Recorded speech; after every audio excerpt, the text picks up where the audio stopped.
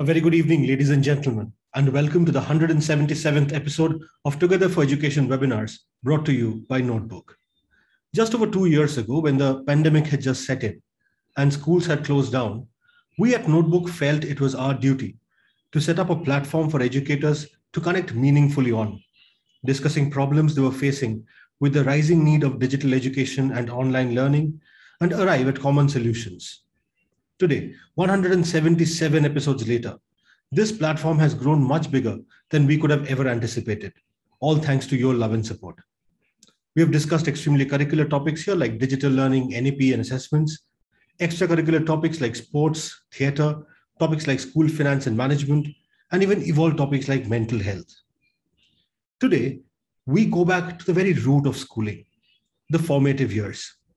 The formative years are the early stages of childhood. Uh, if you do a Google search, are between zero to eight years of a child's life, where they learn more quickly than any other time in their lives. This is the time when they're most impressionable, and this is the foundation stages. This is crucial in deciding what kind of a person this child will grow up to be. Also, this is a stage where in the beginning, there's a lot of the parental influence, the parental, uh, the parents control every single influence that comes to the child. And then as the child starts going to school, the school takes over, the teacher starts influencing, and our education system starts leaving its first marks. So, in a way, this is where you know nature kind of blends into nurture, deciding how this child will shape up. Well, to speak about this, we have our eminent experts today. The first speaker on this topic today is Mr. Philip Burrett. Mr. Burrett retired as a deputy headmaster from the illustrious Doon School in Dehradun after 44 years of serving in school education. Mr. Burrett served the Doon School as housemaster, head of department, dean of activities, dean of student welfare, deputy headmaster, second master, and acting headmaster with great distinction. He also carried out a visioning exercise for the Doon School in the year 2011 through an in-depth study of a number of British public schools and various schools in the US. Mr. Burrett qualified as a leadership trainer at Wellington College, UK in the year 2000. Incidentally, right now he's a father to a child who's in the formative years. So, sir, we are hoping to hear from you not only in your professional capacity, but also in your personal capacity. Sir is also our senior advisor, and we at Notebook are privileged to have him with us. Sir, over to you. Thank you very much, Bayu. Can I am I am I visible and audible? Perfectly, sir. Thank you. Um, yes, uh, you were right. I not only do I have um, a young, young daughter um, uh, of 11, but I have two grandchildren. And even though I have um, taught secondary school students all my life as a teacher, um, my only interaction with uh, the formative year group, as you said, from zero to eight, is my own children and my grandchildren now. And I spend so much time just watching them play and explore their world, asking questions, moving from one activity to the other in quick succession. So the swing, the ball, the trampoline, uh, getting them to read a story or getting them to be told a story, all in the space of 30 minutes. It's not only tiring, but it's in, it's in, it's it's it's increasingly interesting for me, who's never taught this age group.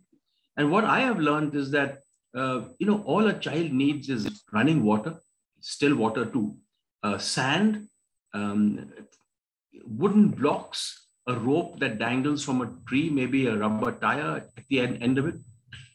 Caring caregivers, mother, father, people around them who are present.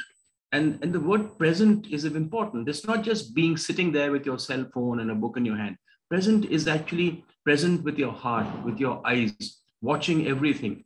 That's all a child needs. He doesn't need Hamley toys. He doesn't need, uh, um, you know, these modern gadgets. Obviously, I, I mean, Lego is great. I think Lego is something that uh, I never had as a kid, but we, but we had Meccano sets. We had this little older when you actually had to tighten nuts and screws. That was fantastic.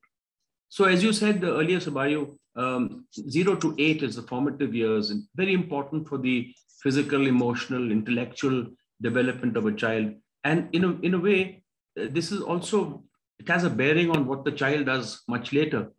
Um, this is the time when uh, a child, I think, learns the quickest uh, and the graph of learning is you know the steepest. And after that it just sort of settles down. And we've heard the age old adage that you know uh, we shouldn't let school interfere with our learning with our education. And the graph settles down and actually up to you know what 14 and then it steadies out. And instead of going up as we get older it flattens out onto a plateau so as a young person these nerve synapses are being made very very rapidly they learn it very very fast and during the first years the brain is most flexible uh, so flexible that um, uh, you know most learning takes place here some of the concepts of course come later but learning as the brain develops in size and weight uh, is, the, is the most rapid here. The brain is literally like a sponge. It'll absorb anything in the environment, any interactive uh, uh, you know, opportunities, any, any stimulus, new sounds, um, new relationships, new experiences. I was told that children are only scared of three things uh, large objects, uh, loud noise, and heights. Otherwise, children are not scared of anything. Children are, can, have, have been playing with, uh, you know, they play with black rubber snakes, even, uh, you know, as soon as they're born uh, in the first year.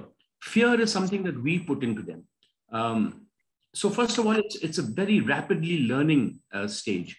Now, I think children learn through observation, through play, and experimentation.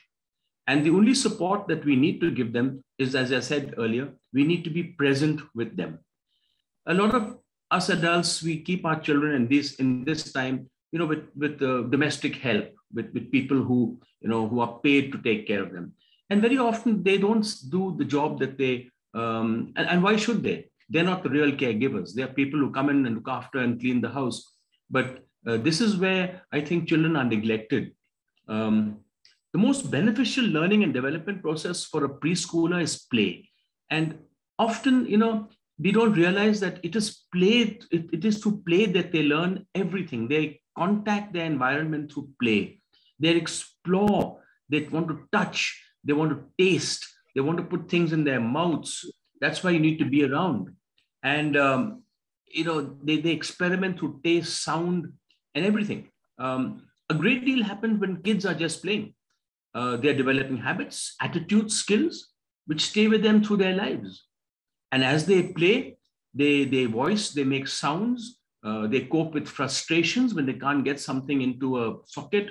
Um, and just like kids don't need to learn how to play, just like eating, swallowing, crawling, they, they grow into it. They, they, it comes naturally. Uh, they also learn to sing, listen, interact, observe. These these are the very, very important contributors that preschoolers get. Um, I think that uh, you know what children need here is not, as I said, ready-made toys. They need things like cereal boxes. They want to see street signs, logos on billboards. They want to color, paint, write, scribble, draw, tear, cut. Um, they want to uh, play with you know these um, bubble bubble uh, wrap. They want to smash bubble wrap. They make the sound. Um, this is what I think children need to do. Um, they want to sing. They want to act. They want to copy. They want to imitate what they see on television. Uh, they want to imitate their their parents' uh, voices and their facial expressions. And I think a, a child learns that if he is loved, um, through appropriate attention, opportunities, and stimulation provided by the parents and guardians, they learn to trust. Uh, when they know that their teacher will be there if they fall, if they know that their mother will be there when they return home, this is what gives them that early start in life the trust, the confidence. They start learning to understand their own needs, their thoughts, their feelings, their likes, their dislikes. They spend time playing and interacting with teachers, with other children. This, they learn how to communicate, think, problem solve, simple problem solving. Parents keep asking me, what is the right age that, you know, to send their children to school? And of course, I always say five. I don't think they should ever get to school before five. But the NEP has even suggested that three is a good time to start. And I think there are a lot of these little hole in the wall nurseries and preschool and play classes that have come up. I, I don't believe in that personally. I think it's just a money making gimmickry. Um, I think parents are afraid that if they don't send their children to school very early, they may fall back vis-a-vis other children and they will find it hard to catch up, which I think is, again, totally um, a, a misnomer. Children catch up very fast. Even if you don't send a kid to school till seven, the catching up rate is so fast that they won't be, one will not be able to find any difference. In, in six months, they've got up. Children learn more at home, um, whereby care, parents and caregivers uh, teach them the basics of life, pronunciation of letters, the, you know, using sticks and stones they can count, listening to stories, they create imagination, their characters, they want to hear certain characters. I uh, invented a, a, a, fictitious character uh, because I had run through all the book stories that were available to me. So I created a fictitious character for my children called Smart Alec. And they loved this character. It was a character out of my imagination who was a rather fat boy who always got into trouble in class. And uh, they just loved it because, uh, and then when I got a new book for them, they said, no, I want, we want to hear Smart Alec. Um, and why are the formative years, I think, important is that uh, there is cognitive development. That the first thing is cognitive development, which includes skills like solving, asking questions, visual discrimination, matching and comparing, sorting, organizing, understanding fact from fiction, um, uh, you know, the effect of simple reasoning. Um, they also learn social skills, social and emotional development, uh, expressing various emotions, communicating, uh, developing friendships with other children, sharing their toys, learning to put away their toys, um, learning to um, uh, get along with their siblings. Um, I even learned uh, that children can save money at, at this age. They put away some coins for, uh, for something that they want later on. Then there is speech and language development, you know, which comes through reading. When, when children hear their parents read, they know how to, they, they get the phonetics of words, how to communicate through basic, um, you know, uh, signs or languages. Um, stories are very important. Uh, because stories teach children how to describe things, adding to detail, how to speak audibly, uh, how to speak in complete sentences. Then, of course, there's the fine motor skills, which you know, which I mentioned, like eating, brushing your teeth, uh, holding a spoon, um, uh, combing one's hair, uh, molding clay, cutting, sticking. Children love love to use their hands. You know, my kid, I think I have bought kilos and kilos of play doh and this very, very um, awful substance called uh, slime. They just love it. They love the different textures, you know, from velvet to sandpaper to slime. They just love uh, the, the feel of different textures. Uh, there's also gross motor skills, which they learn through uh, balance, muscular coordination, uh, kicking, jumping, uh, throwing, climbing, opening doors. These are very important skills that we pick up in the formative years. Um, uh, also, we, we, we shouldn't rush children into skills that they're not ready for. You can't expect a five-year-old to catch a ball, matter how light the ball is. They just haven't developed the eye-hand coordination for that. Um, so I think it's important that parents and caregivers also know what to expect from a child. Um, very often when a child sees a father comb his hair, and if the father's parting is on the left, to a child, it appears on the right because he doesn't understand what is left or right. So he gets mixed up with what is right and left, and sometimes he combs it the other way. In this, a lot of parents uh, want to change a naturally left handed child to being right handed, which I think is wrong. If a child is naturally left handed, like my granddaughter is, I think they should allow them to be left handed. Uh, causes a great lot of confusion, mental confusion. If you switch brain sides uh, because people generally feel that being left-handed uh, is wrong. Um, so I think that um, the formative years are important. Um, when you when a child comes to school at five, not all kids are alike. There is a vast difference, a gulf of difference between them in terms of physical, emotional, intellectual development, which only goes to show that some kids have a better start to life than others. Thank you very much for listening. Uh, Shubayu, I'm not very good at this age group. Uh, I'm interested in it. I look forward to hearing from Achin and our experts. Uh, thank you very much. Thank you so much, sir. Thank you so much for giving us this brilliant start. Uh, you might say that you're not an expert in this group, but sir, we all just heard to the contrary. And also, sir, if ever Smart Alec were to become a character in a fiction series, we at Notebook would be very interested in taking that forward. Well, ladies and gentlemen, after Mr. Burrett, it is time for our next speaker, Achin Bhattacharyya. Achin is the founder and CEO at Notebook. A chartered accountant by training, Achin was a director at Deloitte prior to starting Notebook. He has worked in India and abroad in various senior capacities in GE, PwC, KPMG, and Deloitte. Achin is a fellow of the ICAI and a member of CPA Australia, CPA Ireland, and a member of CIMA UK. He is also the recipient of the prestigious Indian Achievers Award. An avid reader and a passionate traveler, Achin has keen interests in economics, history, literature, and philosophy. He is a regular speaker at various forums and chambers of commerce, and also contributes articles to numerous publications regularly. He is also on the board of some of the most renowned corporates and contributes significantly to their brand strategies. Unfortunately, due to a personal emergency, Achin could not be here during this session. However, given how important Together for Education is to all of us here at Notebook, he has recorded his uh, message on this topic, which I'll play for all of you now. Good evening, everyone. I once again welcome all of you to today's session. Today, we have one of the most pertinent topics, which is of relevance, not only in our schools, but in our society at large. There's a certain point in our lives when we stand at the crossroad of childhood and youth.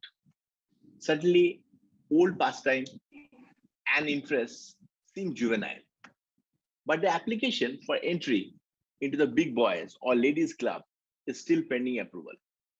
Yes, we are discussing about that important juncture of life where we all rediscover ourselves each day. These are years when we don't need wings to fly. Change and excitement are in the air. When we found ourselves misfit in parties as we were too old to join kids for playing in the terrace and too young to join the men in the bar. However, the best part of the entire experience is that children are happy, sometimes for reasons which are even unknown to them. Very often, they're so happy from within that their present worries do not affect them as they're busy weaving dreams for future. However, this phase also ensures that there's a seismic shift in approach towards life. And also with regard to the inner circle, which act as sounding board. Although parents and teachers are still important as, as role models. In this phase, teenagers often prefer to confide, to share in their peer group. In their peer group, because as the grown-ups may at times fail to look at things from their perspective. Thus, it is very important to, to ensure that they get mature and sensible advice, guidance in this particular phase. Standing at any crossroad is always confusing. We would all agree. And on top of it, if there are no clear road signs, it only makes things worse. Now, the other thing with regard to this particular phase, when we discuss about formative years, teenage, I think the whole concept of peer-to-peer comparison, which is so apparent in this particular phase, as each child goes through puberty at their own pace. So any peer level comparison may result in uh, confusion, uh, self doubt, and consequential depression. Now, most of the time, and very often we see this, that biological maturity precedes psychosocial maturity. Thus, when a teenager starts to struggle for independence and control, many changes may happen. Some, some very common issues that, that generally affect children during these years. I think first and foremost, uh, they want more independence from their parents, which is always the case, most often the case. Second, peer influence and acceptance in the peer group becomes most important criteria. So they behave as if their entire existence depends on it. Acceptance in, in, in their coveted peer group. And also, at times, romantic relationships become important. Now, if you look at things from a from an educator's perspective, the task of teaching teenagers, of course, very challenging with so many esteemed educators in this forum. And considering the fact that we have uh, esteemed panelists with decades of experience, I'm sure, sure they're going to share their own unique perspective on this. But just generally, if I take a more holistic view, we all agree that teachers are often, uh, uh, you know, the, the way, as far as educators are concerned, they deal with this uh, day in and day out. And there are multiple challenges that teenagers pose at this particular phase. I think some things which really help is, and I'm sure that educators in this forum would agree with me, first and foremost, building the trust, confidence, rapport with them, which is essential for success to ensure that acceptability increase. Because if we don't, they will probably complain about everything and anything a genuine interest in them. And their lives will really improve our relationship with them. And we've also seen this that children they are very special talent for seeing through us and knowing if we are being genuine or faking this particular interest. So they understand who is genuinely interested. Second of course is knowing their interest. Now taking time out to good to get to know them more and use that knowledge in the planning phase so things like, say, for example, an online survey at the beginning of, of the year, uh, individual interaction, knowing the kind of activities uh, they prefer, be it uh, listening to music, watching movies, maybe short videos. And, and again, interest varies from group to group. Other important aspect is to, to ensure that uh, children feel that they're in command, to give them choice in terms of classroom activities maybe in terms of type of task, the kind of tool we propose to use, the ways to present it, among others. The other aspect is that I think variety is very important because in this particular phase, teens, they get bored very easily. And you'd all agree with it. So we can change, if we can change the order in which we normally do things and come up with uh, unexpected, original tasks to break down the classroom routine, the monotony. So I think that that really works. Other aspect is continuously mm, continuously uh, throwing a challenge at them. Maybe maybe an unique way of presenting something asking them to come up with uh, to share their own perspectives to moderate and initiate peer-to-peer discussions. So i think any kind of open-ended task where their their creativity comes in the fact that they, they feel that they're in command they feel the fact that they need to bring out their best. So i think these are a few things. The other is uh, when we discuss about formative years i think no discussion in this topic would be complete without discussing the role of parents in this. The fact that children need their parents so much in this particular phase. As we all agree that adolescence can actually be a very difficult time if not handled properly children are going through through through physical changes emotional ups and downs. And at times in this particular phase they're not very sure where they fit. They're still trying to work it out. Now again in this particular phase peer influences and relationship can actually cause stress. And it is important to to handhold a child important to at least ensure that the child knows that we are there for them to see them through this phase now, a few things which are like very uh, simple things, which which I think helps a lot, which families can do to ensure they give that kind of comfort to children. I think family meals, a chance where everyone can uh, chat about their day, something interesting, sharing something interesting. And of course, if we can keep our uh, mobile phones away from the dinner table or maybe switch off the TV, it really works wonders. Family outings, again, so important. Fun time, choosing activities which, as a group, the entire family can enjoy together, ensuring that everybody is taken along, We weekend getaways, etc.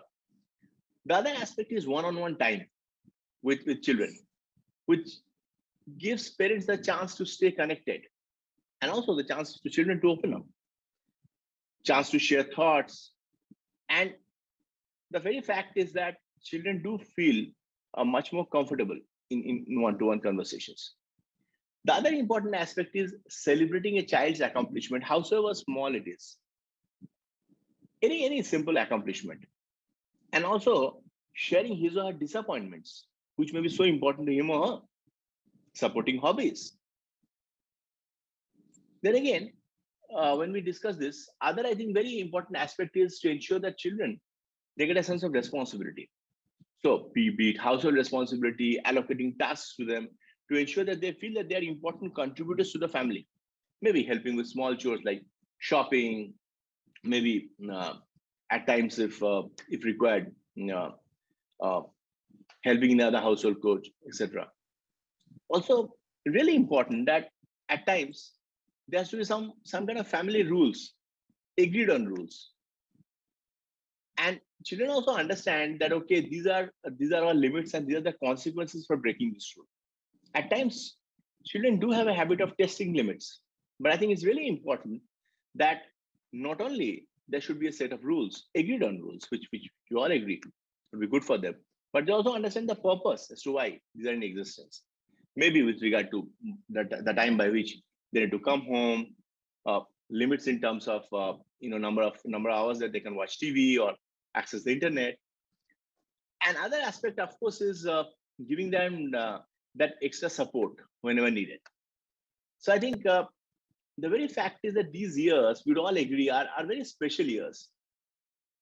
And undoubtedly, the feeling of happiness, the fact that children can can can can laugh, enjoy themselves without worrying about uh, uh, challenges at hand.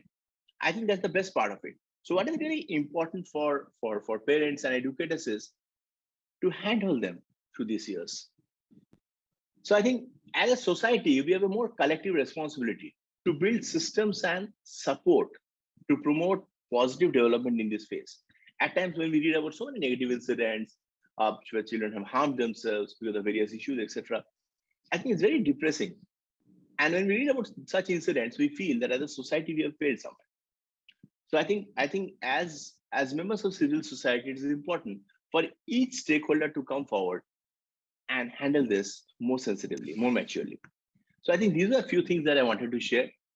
Uh, we have a, we have a very wonderful panel, and I'm sure they're going to share their words of wisdom and, and wonderful uh, real life experiences with, with all of you. I thank all of you again for giving me a patient hearing. I'm sorry, since I was traveling, I had to pre-record this session. Uh, honestly, I really wanted to do this live. So look forward to see you in our next session again. So over to you. Over to you, Shway. Well, ladies and gentlemen, that was Achin Bhattacharyya, our founder and CEO. Uh, as you know, he's traveling uh, because of personal emergency, but that is the importance that we afford to Together for Education. Week after week, putting these panels together has been our greatest joy, greatest learning about the multiple facets of our school education system. Before we start with the panel discussion, a little bit about us here at Notebook.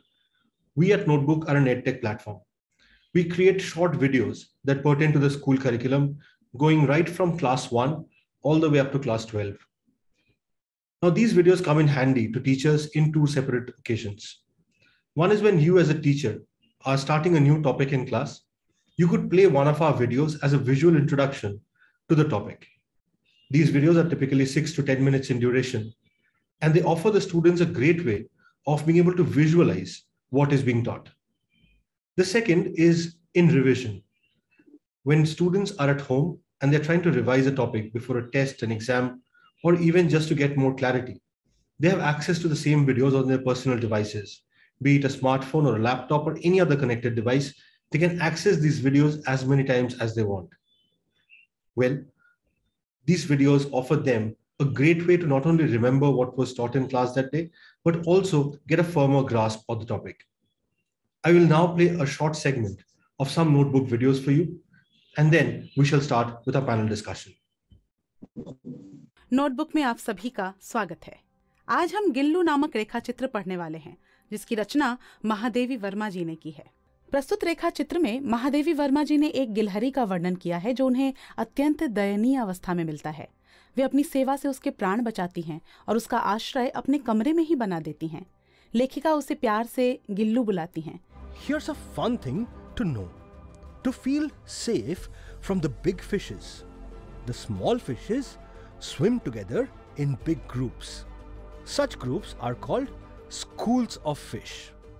Some fishes drink up more water to look swollen up and big so that they can scare the big fishes. Perspective means point of view. Imagine you are standing in a showroom looking at a brand new car on the carousel. As the carousel rotates, you can see different parts of the car at different times. The same thing happens when you see a stationary object like a house. You can first see the front of the house. As you walk by, your point of view changes and you can see the side of the house. Oh, dude, look at the bottle. I told you something is wrong with this place. It doesn't seem right. It's probably the sun. We might be hallucinating. What, sun? It's cloudy, man. Plus, we both can't be hallucinating the same thing. Let's get back to the coast. Oh, oh my god, I think I saw something. And I think I saw you toss plastic into the water. Why is this so unbelievable? Don't you see the plastics floating around? And you should try swimming in this water. Wait, I will show you how it feels to be stuck with plastic rope underwater.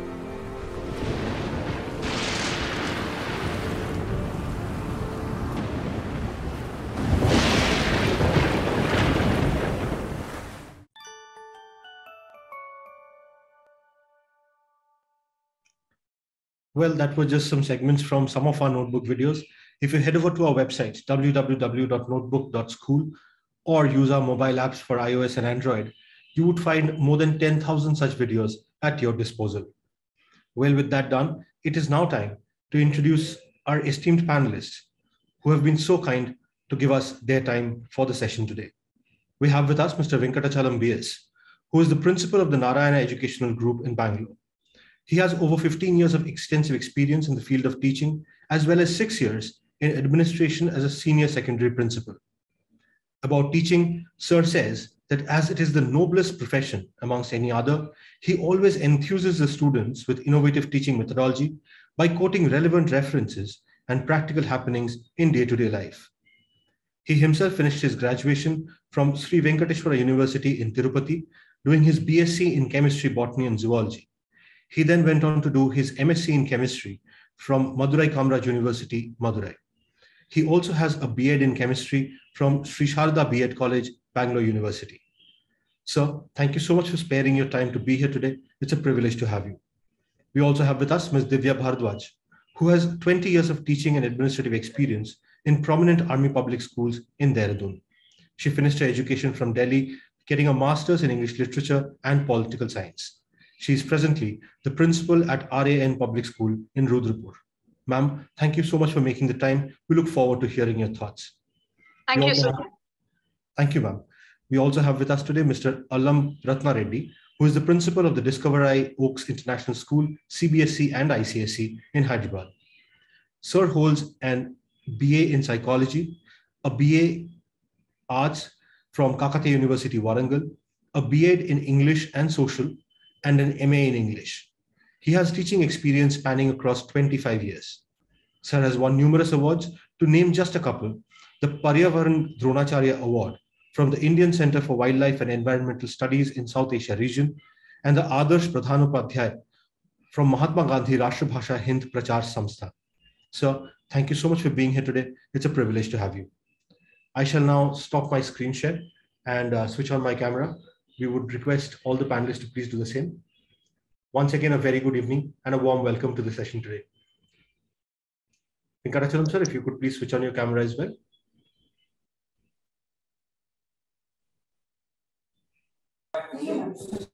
Thank you. Hi, sir. Good evening, uh, all the panel members. Uh, very great to be here in the part of uh, Notebook. Good evening, sir. Privilege having you here as well. Yeah, yeah.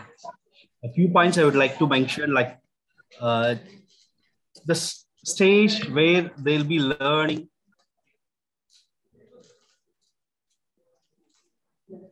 Yeah, the formative ages or years, where the child will be learning many things, not only uh, the surrounding or parents or uh, brothers, even their uh, uh, nearby. Also, when the child comes to the school, he'll be learning many things uh, right from the age 3.5 to uh, 8. So it's not only like uh, uh, the child will be learning ABCs, shapes, or basic maths concepts. Also, the child will develop the cognitive uh, motors development occurs in this age. And we could say that let the child learn by his own, by making the mistake. From the mistakes, let the child learn. And it will be helpful for his uh, physical as well as the mental attitude. Okay, that's all, sir. Thank you, sir. It's, Thank you, sir. Thank you so much for those opening lines. I think that really sets the stage very well for me. You saved me the trouble of having to create opening statements. Uh, Divya, ma'am, if I may come to you first. Ma'am, we're talking about the formative years, right? There's a certain amount of handholding that is required. And during this time, you as a teacher, what are the top things, the most important aspects that you want this child to learn? Well, I'm of the opinion. Uh, good evening, everybody. Uh, my co-panelists as well. I did join a little late, and I'm really sorry for that, since it was a connection error. Uh, now, coming to the question that you've put up, uh, formative years happen, in my opinion, happen to be the most important years because I personally feel a personality of a person is the best developed during these years. It is rightly said that these years shape up the person that the person goes on to become in the later years of their life. Now, and during these times, as a teacher, it becomes one supreme responsibility of the teacher to mold the child into the personality which is like likable to people. And as i say it is full of social health. I personally talk a lot about social health. Why? Because we have talked a lot about physical we have talked a lot about mental but social health is something which is like uh, here to stay because our existence in the society depends more on the social health. Formative years happen to be those years where the child's social personality, the personality of a person is developed. As a teacher, it is it does require a little bit of, you know, hand holding. In fact, not a little bit, quite a good amount of little, uh, you know, uh, hand holding on the part of the teacher. Why? Because this is one time where the child learns how to think creatively. This is one time when the child, instead of being told what is a slanting line or shapes has to be given something in hand give them a visual delight more than something which they are doing in their copies to you know feel to understand the touch of it which is more important than what is being taught the students on the board. So yes the part of hand holding comes in the part that how creatively do you make them understand? A child in the formative years is not one person who is sitting in your class with a mindset that I have to go out and crack IIT. No. So that means any motivation to study or to understand or to learn something has to be imbibed in the child by the teacher itself. So you have to make your classes that creative that the child, you are able to hold the interest of the child in the learning. So that part of hand holding more creative, more innovation is what is required so that the class becomes a delight for the child. Wonderful, ma'am. Thank you. Thank you so much for that. I particularly like when you said it has to be a likable personality growing up, right? And that is something that we so often forget. Uh, Mr. Reddy, if I may come to you, sir. Uh, we heard how, right? If I may focus on the what for a minute. So, what are those skills? What are those initial skills or the initial things, to put it more broadly, that you would want the child to pick up? Uh, good evening to all the panelists and all the uh, audience who is listening. Uh, thank you for giving me this opportunity. Uh, yes, uh, it is very important. The formative period, even life skills takes a, a, major role. Now the days are gone. Usually now earlier, the traditional mode of education, we were focusing on marks, ranks and grades and all that. Now those are the days which are gone now. Now current education either in formative or middle school or primary, pre-primary, wherever it is. Now the education is not going on content-based, but it is going to be skill-based. So definitely content is not that important. In the formative periods, we are going to test the skills of the child are given top priority. So the skills I call it as for language formation, LSRW skills, that is very, very important formation period. Now we people try to teach a language. So we go with mainly first LSRW skills, I call it listening. So in the formative period, the skills for listening, more opportunities should be given for the child to listen more. Listening skill is very important.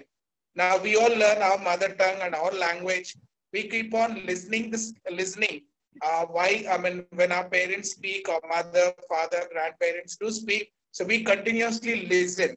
So any language developed or formed in the younger children by listening. Then we have speaking. Whatever they try to listen, they try to embed in their mind and they start speaking and they try to use that same vocabulary or same language. Then after that, they try to read and they try to write it.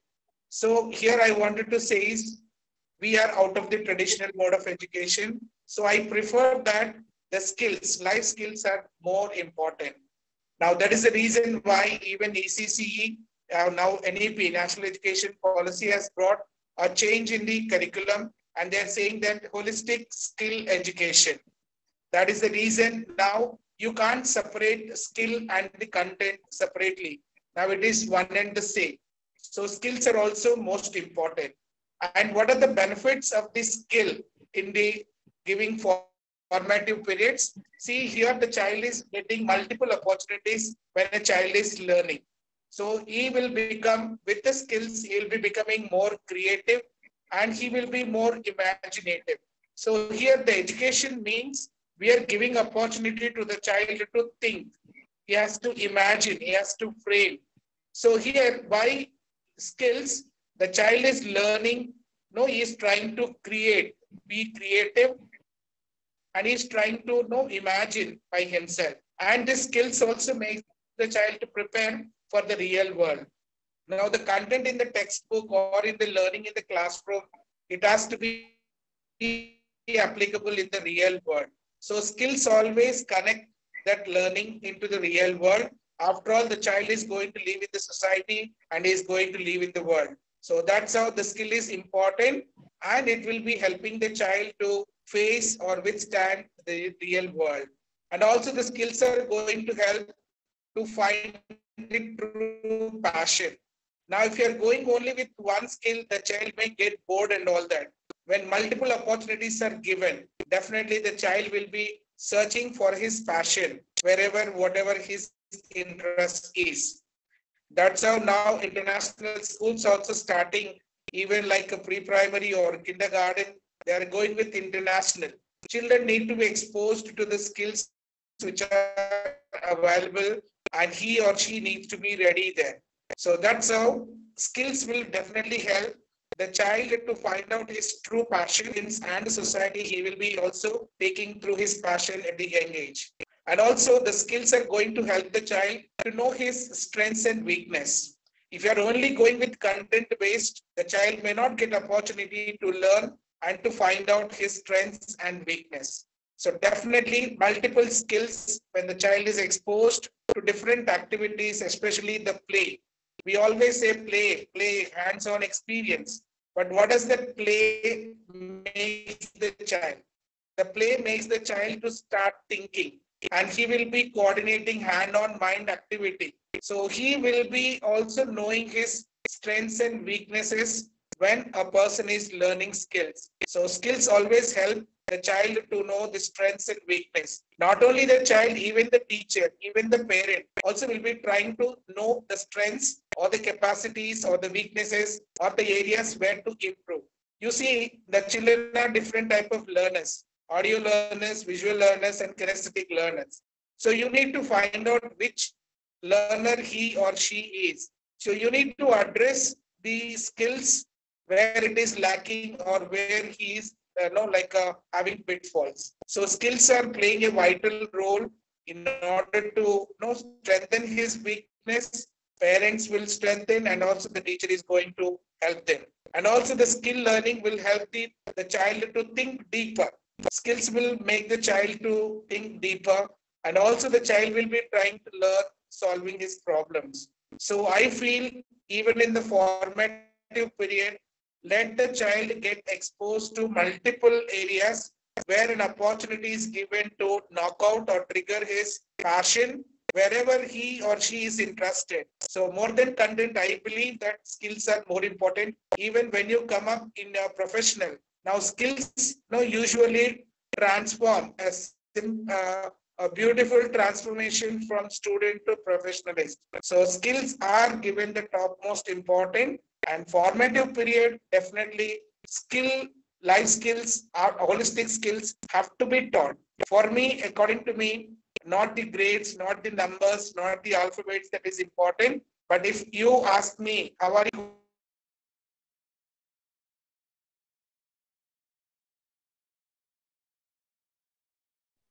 I'm really sorry, sir. You'll have to unmute yourself. I think you went on mute. Development in the formative periods.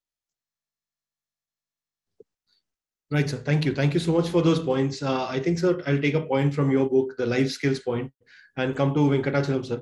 Uh, sir, uh, Reddy sir spoke about life skills, right? Uh, now, when we were growing up, personally in school, my earliest memory is joining dots to form the English alphabet. Uh, literacy and numeracy were the big ones when we were growing up. It has changed. Right now, Divya ma'am spoke about how creative you can be, how you can inspire the child to be creative. So, what has the shift been like in terms of being a teacher? Yeah. Uh, thank you, sir. Uh, I understood the question. Uh, actually, when we give the playway method of learning, because children know they'll be playing at this age, the elementary stage, that is age one to eight years. So when they'll be uh, playing, they'll learn many things. Even that is why we, uh, our system, education system, also introduced the playway method of learning. So that is enough, I think, for them to learn the things in the better manner and the easy manner. Right, sir. But in terms of teaching life skills, what would be some of the things that other teachers could do?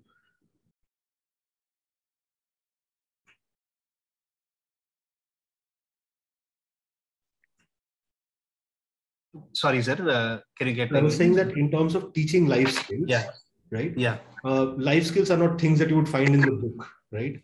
Uh, yes. so we have a lot of young teachers who join these sessions. What could correct, be some things that they do? Yes yes. First they have to observe the things sir, what's happening.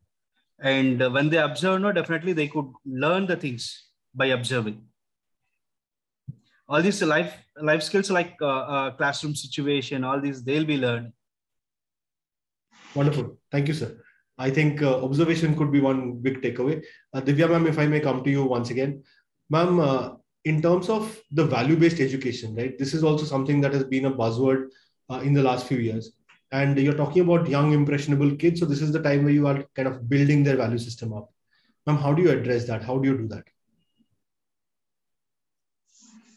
Well, I think uh, if you look from a larger perspective, uh, uh, we are looking at an approach which is more towards an holistic, you know, pattern of education. Now, when we are talking about a holistic pattern of education, I'm looking forward to a child who is not only maybe academically not much brilliant, but is have holding on to the values which are much required in life. Now, I always tell, though I go in the senior classes and I teach English in the senior classes, and I tell over there that your degree will get you your first job. But your excellence and your survival and your success in your job will come only with your skills and your value system. So, yes, value system, your value based things may sound like a buzzword today, but it is much in need of the hour. Why? Because a brilliant student with a destructive mind is something which the society does not want. We want a set of people who have, have a value. They value the citizenship of this country. They value the systems of this country. Yeah, maybe not even the country, the family actually. So anybody who is like a very high achiever and does not have the right value system in terms of a family, in terms of a society, in terms of your nation, is not one person we need in the society.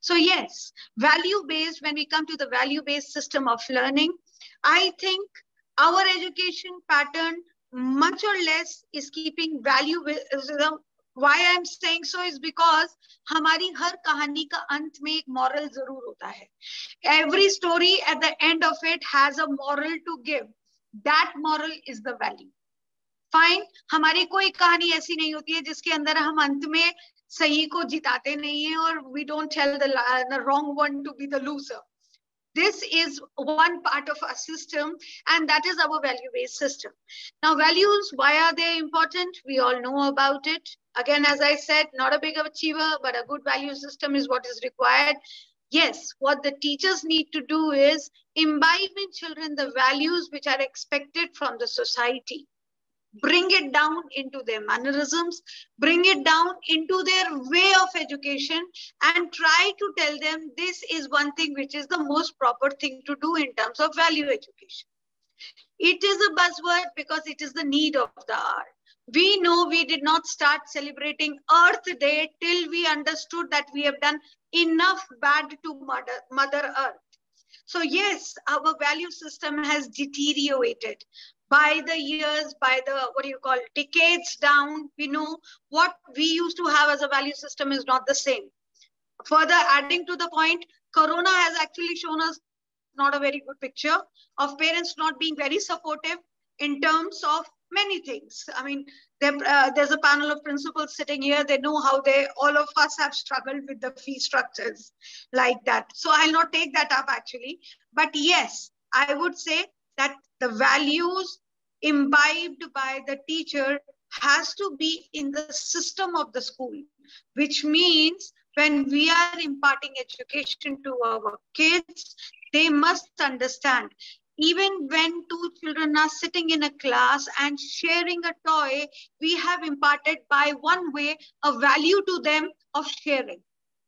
A value. So these small, small activities, yeah, ye, ye these small, small things in the class actually impart a value to the child and that value really makes a person the person a society needs. So I, I, I still feel the topmost child in academics in seclusion is not what the society needs. They would want some five year, 10 year, 50 average children but then living peacefully in a society with a value system where they know how to share things, where they know how to help each other, where they know when at the time of crisis you have to stand by each other. Be also mindful of the words that are spoken in presence of each other. We do have freedom of speech, but we do not have the freedom of hurting each other. So I always tell my teachers as well as my students in the class, be mindful of the words you use because you are a social animal.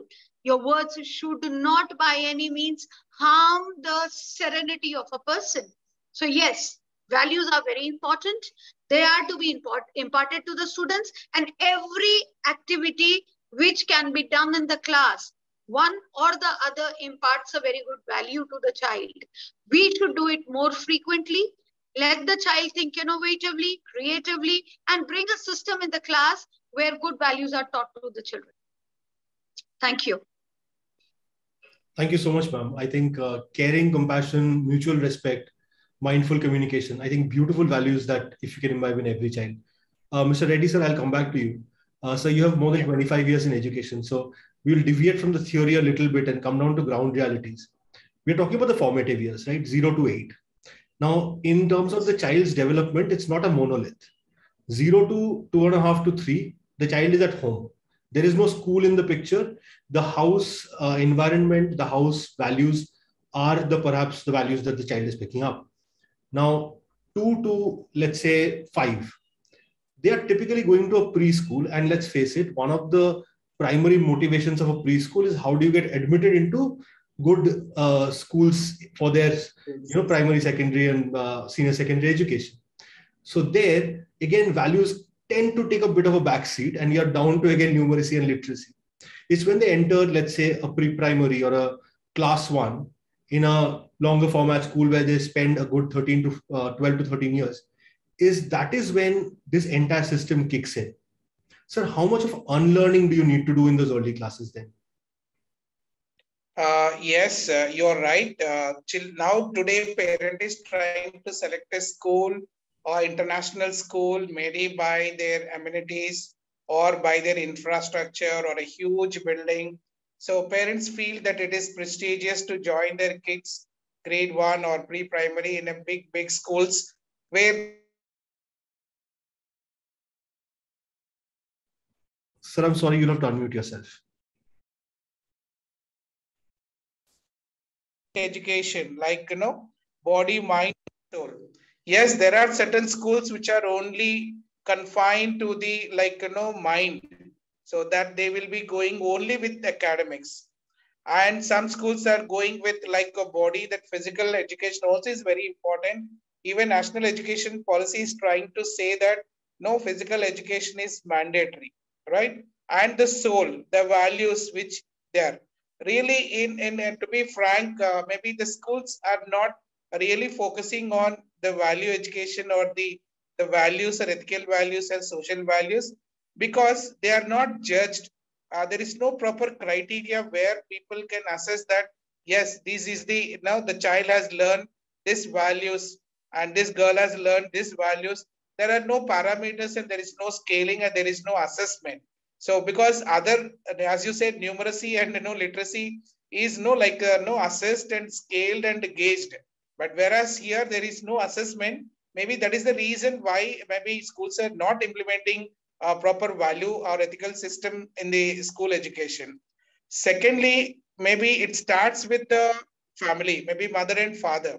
I believe that no values will begin from the uh, house because they are more exposed to to the lot of scenarios uh, in the house rather than in the school.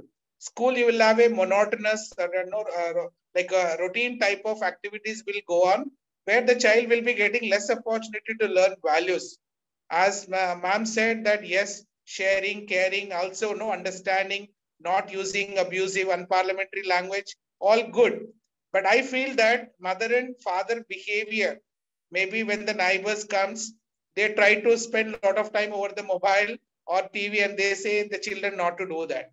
And they, they are there in the house and they answer that I am not in the house, I am driving. So there are many occasions where parents are giving wrong signals. So how it is possible that uh, parents are going to give uh, no values to the children. So I strongly believe that mother and father are the primary people to inculcate the values uh, among the children pre-primary because whatever mother and father says, they try to imitate. The first contact is mother and father. So whatever they do, uh, no, automatically they are getting embedded in the mind. But parents are not aware that I am really polluting my child with my behavior, with my words.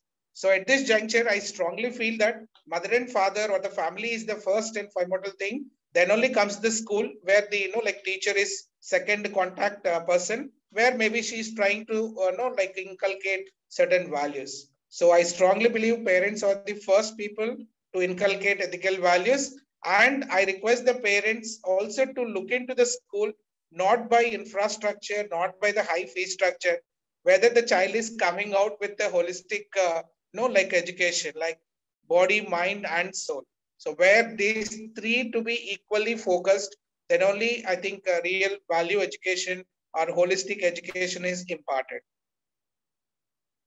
Thank you, sir. Thank you so much for that.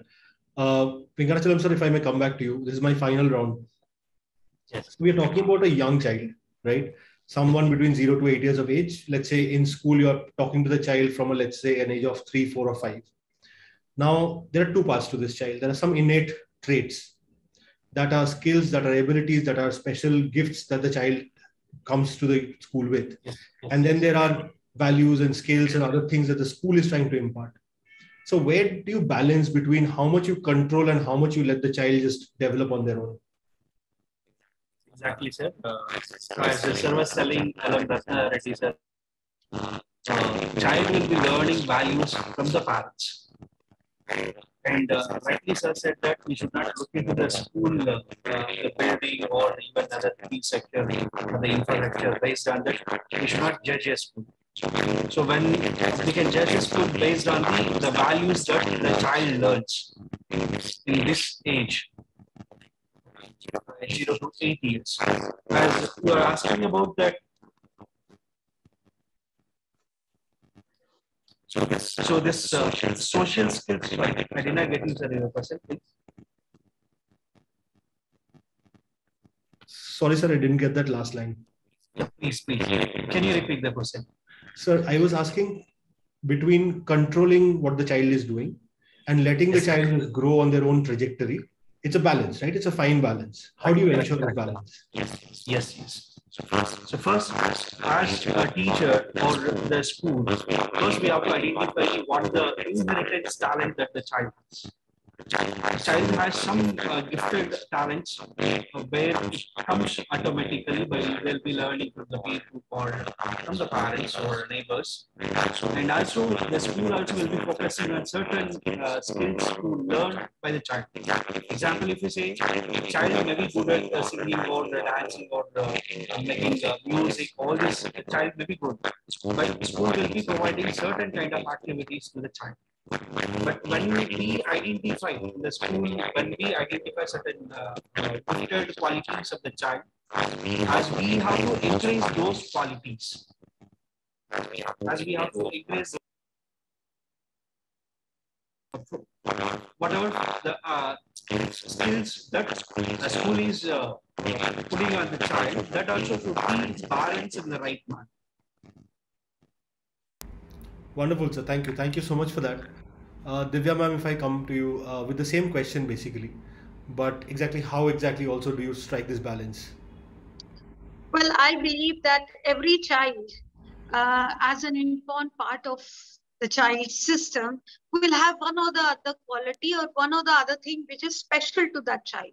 It can never happen that every speciality will end up in one child only. Yeah, again, uh, one to we have to break the stereotype which says that which brands the children as a high achiever and a low achiever. Fine uh, normally it's a general practice which i think nowadays it has changed a lot. That there was a time when it was said that these are the high achievers of my class and here i'm talking about academics. High achievers of my school so they are the likable of my class and they are the ones who are my favorite. And the other ones who are not getting good marks yeah maybe the teacher is struggling more with the child to get something done in the copy. Now here again i'm talking about the part of academics. You are struggling to make the child right but i do understand it very clearly that a person, a, a, child who is very high academic achievement, you may struggle, may struggle to make the child sing. Whereas a child who is not doing academically very well, you may not struggle with the child. Point yahan hai ki if you ask a monkey to climb up the tree, he'll be the first one to do it. But then the same work, if you do it to the elephant, he'll not be able to do it. But you can't brand the elephant as a child who is not achieving anything. Again, as an inborn uh, quality, every child will have his or her own quality, his or her own skills. So the quality, the best quality of even a parent or even a teacher is to identify that one quality and then work upon it. I cannot, again, if a child is a good singer, he has an inclination towards music, again the point is आप उसको slanting line standing line सिखाएंगे जिसको must have a separate set of kids for that this is how the best balance can be struck where you let the child excel in what is his or her inborn quality or maybe his or her own liking now this stands not only for the teacher it also stands for the parents why because your child somewhere is born with something special which you need to identify. He may not be an IITian, but he may be a wonderful musician. So it becomes this strike, the balance will strike only when you find out what is the child best at. And once that you know you're able to identify that part, it is then then you execute the part of it where the best of the child comes out. So yes, a balance need to be done, but I think before that we require a high amount of homework, which requires us to keep the stereotypes aside, which says ये बच्चे के number अच्छे आ रहे हैं that's why he's a good child ये बच्चे के number कम आ रहे that means he's a low achiever I never call in my school anything called the weak child so there is no weak child actually there is always an exceptional child in each child an exceptional teacher an exceptional singer an exceptional musician. So agar ye identify ho jata hai that is when we are able to strike the best balance in everything and execute it to the best. Thank you. Thank you so much ma'am. You took me back to a very old adage uh, from one of our previous sessions where somebody said thank goodness nobody tried teaching uh, sachin tendulkar how to be fantastic at physics. Uh, uh, yeah but we in india we are fond of uh, teaching people. So at times even Sachin Tendulkar has been given advices. Is bat ko is ball ko aap aise marte to out na hote. So again, we can't say that, but yes, as a teacher, it is my job to identify what is the best in the child. If I'm able to identify, the balance will in itself come in the right place. Wonderful, ma'am. Uh, Reddy, sir? I'll come to the other end of the question for you where uh, let's say you're talking to a child in his or her formative years and you identify there's a learning difficulty. Uh, there are children with special needs and as a system we have become more mindful of their presence. So at what age do you think these are well identified and maybe you can get a counselor to intervene? Uh, yes sir the, that's right. Um, yes we can't Im- immediately identify the learning or disorder or uh, no dyslexia so we can't immediately identify. There are of two, three types. Uh, one is of behavioral uh, psychology, another one is memory part of it, and maybe the third is the physical part of it. Uh, definitely, uh, parents must be identifying the you know, physical deformity or physical disorder where they can immediately go to the doctor and they can identify that. But definitely, uh, like uh, learning disorder, definitely they need to get uh, not at the early age. I don't think so. Uh, we can't really identify the learning disorders among the children. Uh, maybe it has to go, maybe little age has to come. Uh, maybe after eight years or nine years or 10 years, they may be able to identify that uh, learning disorders. Maybe a psychologist or a special educator can definitely you know help them out. But I find even as a principal and for different schools, I do face uh, this type of problems. When they come to me, first of all, I try to you know, like listen to them and try to analyze uh, their words and their statements. Accordingly, then I'm I'm not expert in that particular area, but definitely I'll be trying to suggest a right person to diagnose that and to give a solution. Yes, children due to this pandemic, you know, lot of uh, uh, disorder in their behavior and you know in their thinking pattern yes, a lot of change has occurred, and because they were confined to four walls almost for two years. Now my children in uh, now uh, IK2, like I can, I can call this UKG, they are coming to school first time. Two years of no schooling, online schooling, how it helped and all, nobody knows that. And you know, the child deserves certain things of his age. And I feel that wonderful life they have missed it, like nursery and you know LKG kid really they have lost their beautiful childhood because of that some ailments are there but i strongly believe that no child is like a born with a disability, but definitely everything can be addressed. Now that is the reason why uh, government of India is encouraging that inclusive education. Every school need to provide accommodation and facility for the child to learn like an ordinary child.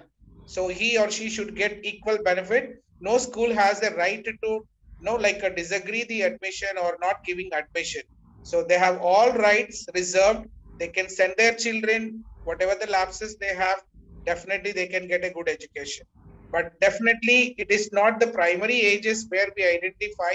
There are certain minor elements that can be rectified uh, through a proper uh, guidelines and proper uh, persons can solve those problems. It's not a major defect. Wonderful, sir. Thank you. Thank you so much for that. Thank you to all three of you. I think it's been a fantastic learning journey for me personally. Uh, just to look at how educators, experienced educators, look at the formative years of young children. It is now time for me to do a quick recap and uh, say my thank yous. Uh, to all three panelists, thank you. Thank you so much for sparing your time. I know this could not have been easy this time of the year. And uh, thank you so much for sparing your time and sharing so much of your knowledge and expertise with us. Uh, Burrett sir, thank you so much for the beautiful flying start. Yes, ma'am? My pleasure. Ma'am, the privilege is entirely ours. Uh, and uh, we have learned so so much right so we know that the importance of value education we are talking about sharing caring being mutually respectful of using language that is not hurtful to others we spoke about how you treat children with innate special abilities uh, you spoke about how you kind of let the children be and kind of find their own voice find their own speciality and then nurturing them from there uh, to all three of you we are in your debt for this wonderful wonderful session uh, we look forward to meeting all of you again in the audience. Uh, we hope to see you again next week. Until then, please take care, stay safe, and goodbye. Thank you very much. Thank you. Thank you, Thank you so much.